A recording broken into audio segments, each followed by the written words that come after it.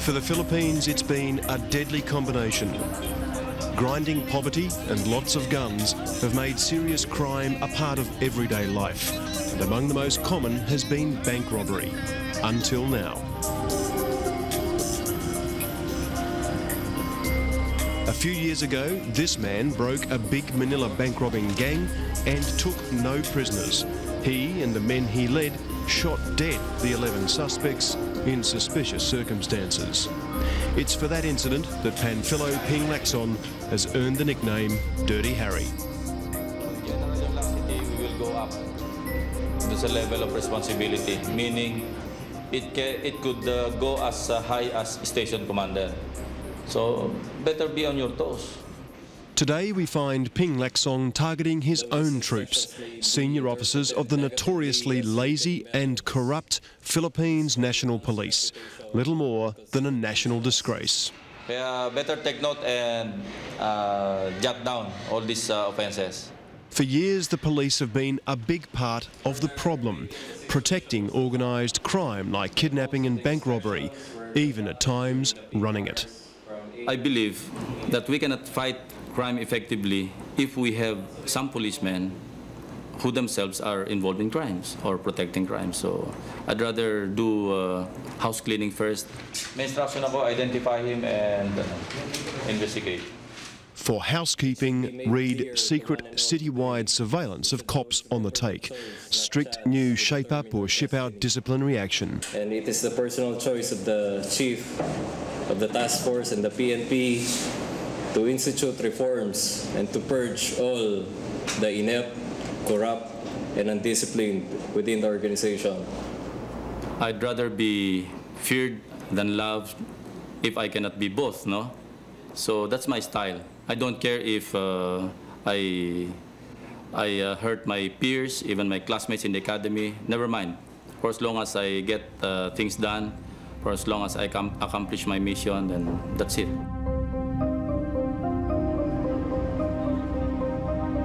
And Dirty Harry is getting things done. In fact, he's so can do. The courtrooms have never been busier and the prisons are groaning with new inmates. Death row is more like a gridlocked freeway with a staggering 1,300 prisoners, men, women, even children, awaiting their lethal injection. This is zero tolerance Filipino style, but not everyone's prepared to put up with it.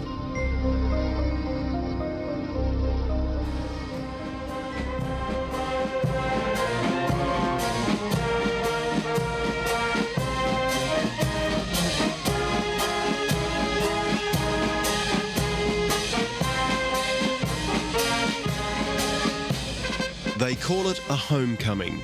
Officers, young and old, celebrating their graduation from the Philippines Military Academy. Many of the veterans here served when the army was simply the private force of Ferdinand Marcos. They were the sharp end of the late president's brutal intimidation. Among that suspect fraternity, General Panfilo Ping Lacson, graduate of the class of 71. Lacson was a tough and loyal foot soldier to Marcos. Now, reinvented as the country's boss cop, he hasn't forgotten his military code. What do you find you draw on from your experience in the military when you're now dealing Well, with you, police? you've seen the motto of the PMA. It's courage, integrity, loyalty. It's uh, imbibed in each uh, cadet, you know, each graduate. Mm-hmm. It only a matter. It's only a matter of whether you forget all about these virtues when you go out, go out in the field or not.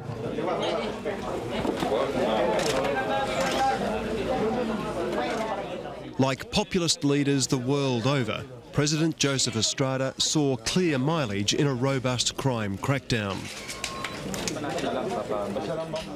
While Estrada claimed the political points, it was Dirty Harry who got the results, even if it wasn't always pretty. Carrying guns can now court disaster, all in time for the evening news. If there's an armed aggression and you have to protect your life or even protect the lives of your companions, I told my people, given a choice between being hot in the news or being cold dead. Choose to be hot in the news. Dito tumama sa taxi. Uh-huh. Di- Dito. And if police statistics are to be believed, Dirty Harry's shoot first policing is working. Tama sa amin na Mga two days. In his first six months, petty crime is down 30%, drug arrests up 97%, and once rampant kidnappers who terrorised the rich ethnic Chinese community have all but disappeared. He should be tough and against uh, hardened criminals. If you are soft with uh, hardened criminals, then what will happen to you? You will become ineffective. So total support from your community. We are all out in supporting uh, General Lacson.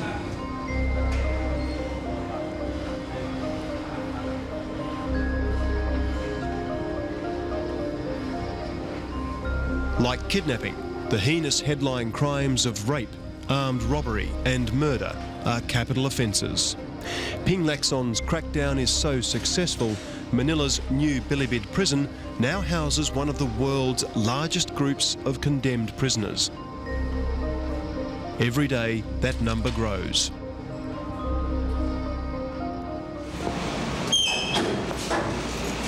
At exactly 5:45, the prisoner will be brought in here inside this room. To this cell here. Yeah. It's here death row prisoners take their last meal and make their last confession. It Must be very difficult for them. Maybe they uh, already accept their uh, destiny. Accept their Yeah, yeah. Their last moments on earth are timed with cold uniformity. The prison's deputy governor witnesses all executions, which at this point can be stopped by only one thing.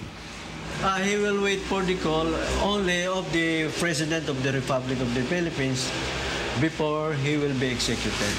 Okay. Maikli. In the absence of a presidential pardon, the prisoner is strapped in. The left arm punctured with the crude yet fatal drip. Anesthetic is used to relax the body before potassium chloride stops the heart. As the cocktail of chemicals courses through their veins, prisoners are invited to use their last four minutes to address the gallery of witnesses.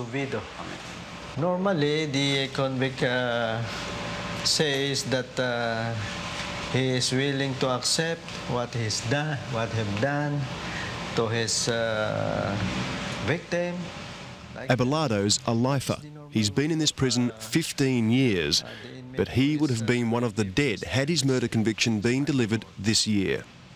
If, as proponents claim, the death penalty is a deterrent, then this prisoner isn't hearing it from his fellow insiders. Ang masasabi ko lang eh, hindi po kung drugs. Dahil ang unang kanya ng krimen ang tao. Support too from guards. Well, I'm in favor of the uh, abolition of the death penalty. Maybe ako, uh, in my mind, it, it is not a deterrent to criminality. God chose us not for the world, God, to be active, to be inside us, inside of love. With even prison officials doubtful, the church is finding new support for its belief that there's cause for pause. The age of the Inquisition is over, it says. In the third millennium, all life should be sacred. We have to fight for the life of the, each human being, even though that person is the worst among us. In the name of the Father, and of the Son, and of the Holy Spirit. Amen. Here in this devoutly Catholic nation, the Church has a special authority. It fought against the reintroduction of the death penalty in 1994 and lost. God the hearts of all, the good and the wicked. Churchmen like Monsignor Ding Colonel have been arguing against it ever since, particularly when populist President Estrada refired the issue. Only now, the Monsignor is sensing a shift in public opinion. We are gaining some sympathy from from some senators, and some some legislators are rethinking. Uh, those who were pro death penalty are now changing their minds. A year ago, everybody was uh, let's hang him, let's implement the law, let's use a sample. But now, well, uh, the current uh, nobody's there is no hardline uh, pro death penalty legislator. Even the advocates of the crusade against violence are rethinking their position. The church has won a temporary concession from the government. While the death penalty remains, actual executions have been suspended for one year to mark the 2000th anniversary of the birth of Christ.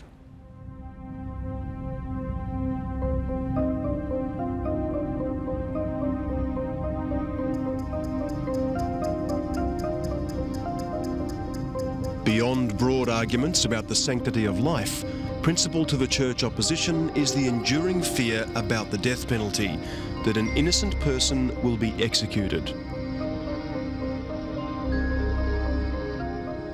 Mabuti lang kung nandiyan ka sa dito kung totoong ginawa mo yun. Diba? Hindi masakit. Pero yan, walang kaalam-alam. Malilital injection. Masakit siguro sa isang taong ganun.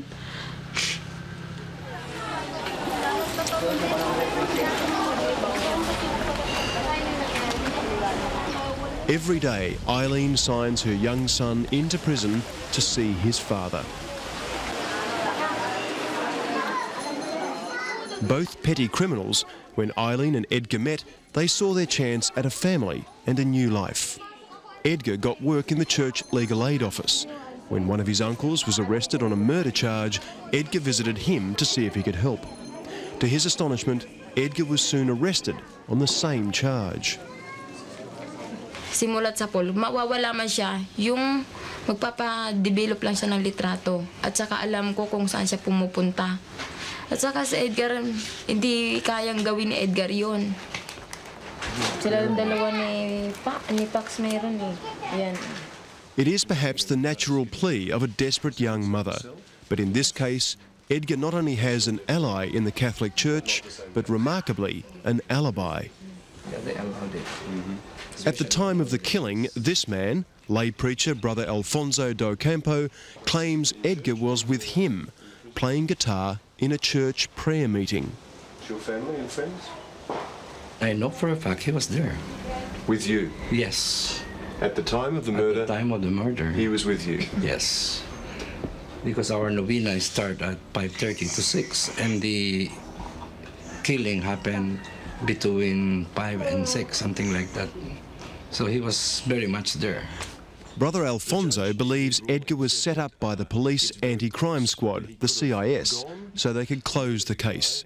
And to do that, he says, they pressured a witness to nail Edgar. No, we don't question the fact that he really saw the killing. But what is questionable is he remembers the wrong people, pointing to the wrong people.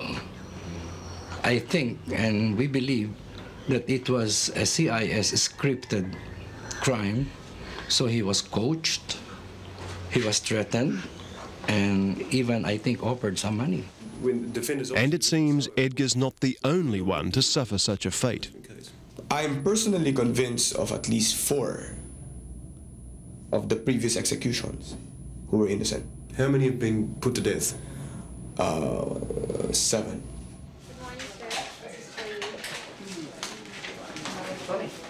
Lawyer Theodore Te is busy these days. A human rights campaigner, he often defends those like Edgar who claim to have been fingered by the state. The death sentence, he says, has been used by successive Filipino governments as a quick political fix, and innocent people are dying. The death penalty was the natural response to a clamor, supposedly for of the people, for some impact statement on crime. The people are saying crime has to be stopped. Okay, I'll stop crime. I'll stop the criminals. I'll kill the criminals. What is cancerous in the community must be cut off. Uh, even the Lord said in the gospel, uh, if your hands do not do well, cut it off. If your eyes becomes the source of your scandal, pluck it off.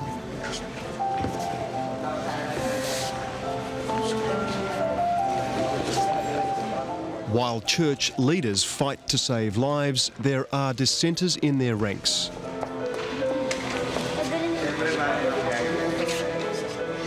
Good morning. Once again, we bring you our Sunday TV Mass Live over RPN Channel 9. Father Sonny Ramirez may be a maverick, but his views are influential, broadcast live across the Philippines every Sunday. Their views he developed as the spiritual advisor to a girl who, at the tender age of eight, had been repeatedly raped by her father. Baby was a lonely girl. Nobody pays attention to paid attention to her. And I saw in her a girl asking for help. And she was drowning because simply nobody just paid attention to uh, her cries in her house. And Lala. Baby Echegaray embodies the nation's death row dilemma. By speaking out, she became the centre of the nation's most infamous death row case. Kasi yung trial, parang, eto, hello, eto na naman. Ikukwento mo yung nangyari sa'yo. Ang hirap-hirap, pinipilit mo na ang kalimutan. Pero kailangan mo tong gawin para mapaglaban mo yung karapatan mo.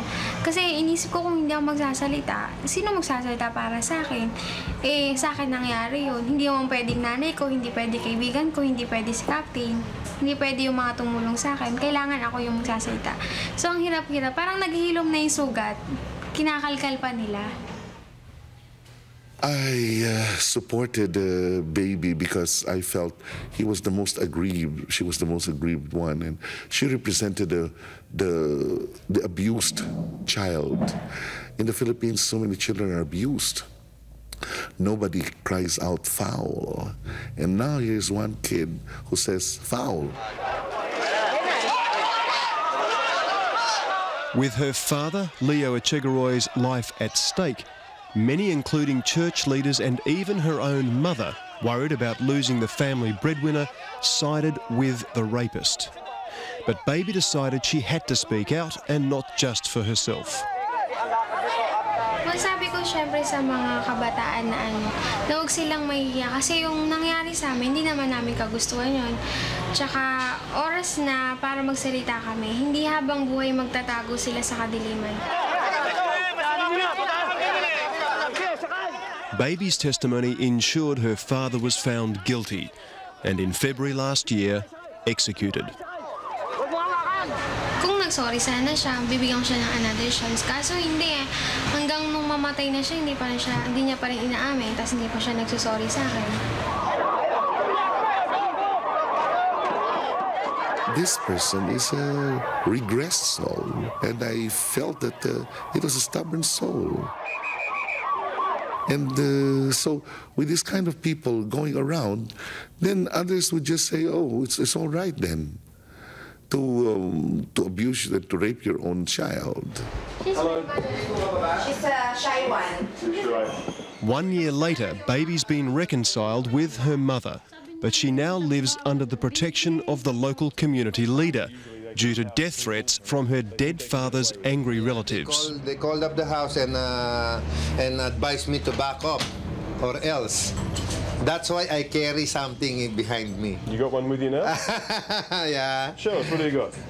I have. Uh, Oh, right. What's that, a 45? No, this is a, a 9 mm. 9 millimeter. 9 millimeter caliber, and All the I, time, huh? I also have my uh, backup ammunition. Yeah. Is that all the time? Yeah, I want. So look, looking after I have girls to protect. is a, is a is a dangerous business. Yes. Uh, im- imagine uh, you will send, if convicted, you will send the perpetrator or rapist to death chamber. Manila's tough streets have their own justice. Far from stemming violence, the death penalty is fueling it. There is abnormality in our country right now. No? Uh, you see a whole family massacre, uh, young, uh, a young boy, young girl stabbed 29 times. That's abnormal. Uh, so uh, we have to send a loud message to these uh, criminals that if they do something like this, they will uh, meet the or they will uh, uh, meet that penalty. when Leo Echegaray, the rapist, was uh, injected no, lethally in, uh, in Muntinlupa, uh, there was a uh, of uh, rape cases being reported to the police. Don't get me, don't get me wrong on this. You know, the statistics on rape, uh, you know, it uh, soared uh, higher than the previous years, only because people were encouraged to report uh, these kinds of, uh, of uh, cases. No. While it may promote crime reporting, many believe simply killing criminals won't reduce crime. Death is not the solution to crime. Effective police work, less corrupt judges, better apprehensions, making sure that those apprehended are guilty and if they are guilty, they are put away. Ay, Aline, kamusta na? Ito, mabuti po. Brother Alfonso doesn't like bearing bad news, but today's message is one of the hardest he's ever had to deliver. Edgar's final appeal has been rejected. His execution is now affirmed.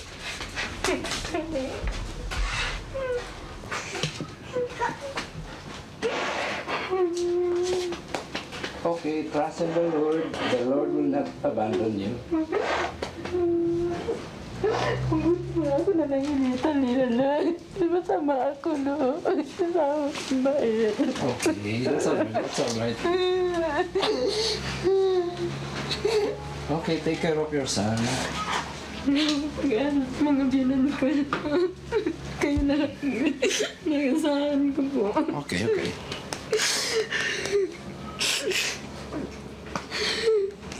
God will not abandon you. Try to, to be closer to Him. But God, it seems, has abandoned them. As with most of the 1,345 death sentences, Edgar's execution falls outside the government's moratorium. Unless the death penalty is scrapped altogether, almost all will die, guilty or not.